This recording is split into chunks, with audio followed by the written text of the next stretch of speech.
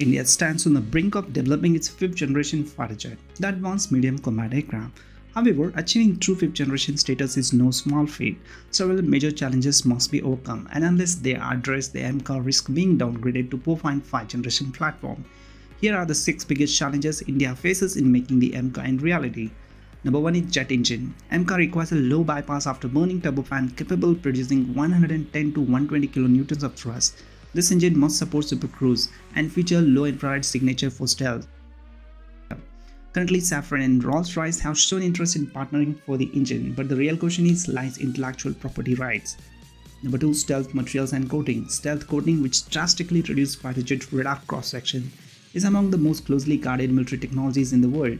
Only USA, China, and Russia have mastered it. Developing it required advanced chemical engineering, nanotechnology, and composite materials. Number 3 is advanced avionics and AESA radar. An AESA radar is a vital for detecting enemy aircraft and ground threat under all weather conditions. It has already made progress on indigenous AESA radar system, but achieving low probability of intercept, high situational awareness, and network-centric warfare capability remains a significant challenge. Number 4. Internal weapon bay and precision strike capability. To maintain the stealth, MCA must carry weapons internally. Planned payload capacity of around nearly 1500 kg this includes air-to-air missile and precision-guided munition. Internal bay improves aerodynamic, increased speed, and keeps the radar visibility in the minimal.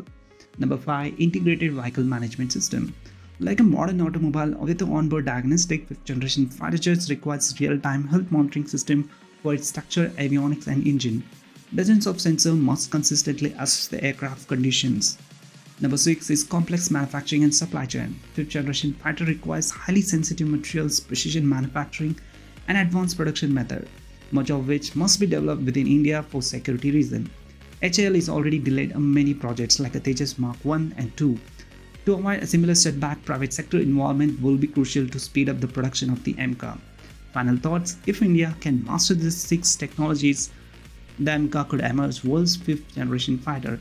But if these hurdles are not overcome, the aircraft risks becoming 4.5 generation platform rather than cutting edge stealth fighter India's innovations.